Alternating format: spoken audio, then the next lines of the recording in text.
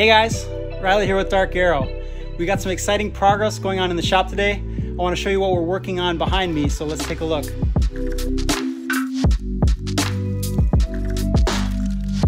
Okay, so what you're looking at here is the first time that we fit up the wing and the fuselage together as an assembly with the whole airframe sitting inverted.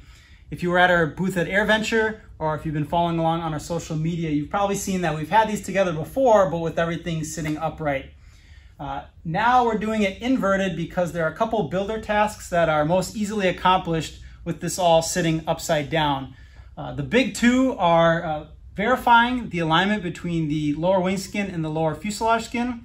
So we're checking there's a seam at the trailing edge of the wing and another seam at the leading edge. We want to make sure that aligns. There's no jogs or the wing isn't skewed. That all looks good so far. The other thing that we're doing is match drilling the bolt holes between the wing and the fuselage. So there's four bolts that structurally join the wing to the fuselage and you need those holes to be perfectly aligned so that everything fits together properly. The way to ensure that they're aligned is just match drilling the holes together.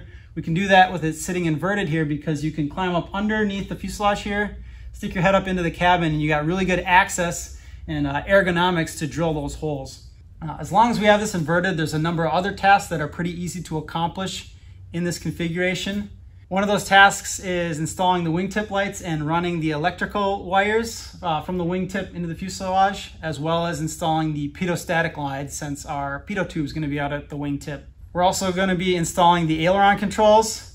So if you've been following along, you've seen I've been working on those. Now we'll finally get to assemble them into the fuselage.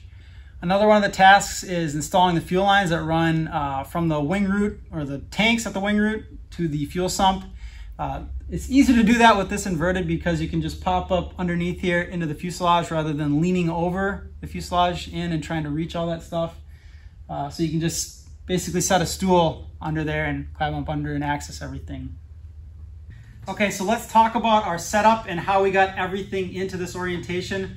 Right now we have the whole airframe sitting on two tables. So there's a table at the back of the airframe by the tail and then another one at the forward fuselage here, right up by the firewall. So that gets it up off the ground high enough so that the vertical stabilizer clears. Uh, you've probably seen videos of us flipping the fuselage before. That's a two-man operation. Uh, we do that with the wing detached, of course. And then uh, putting the wing onto the fuselage, we did that with three guys. So one guy on each wingtip, and then the third guy kind of stands in the center and just helps spot and call out where you are relative to the fuselage. The wing is pretty light as you see it.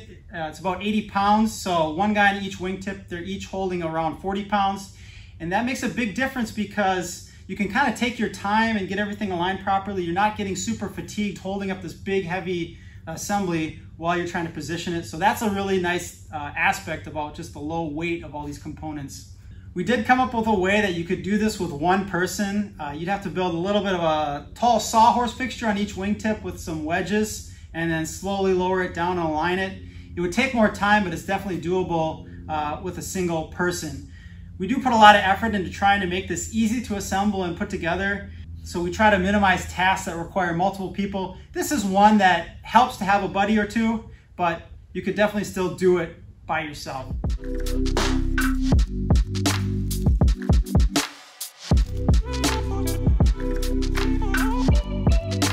Okay, so that's everything I think I wanted to cover on the wing fuselage fit up. We'll have more to show on this in some upcoming videos, so stay tuned for those. Thanks for watching, guys. We'll see you in the next video.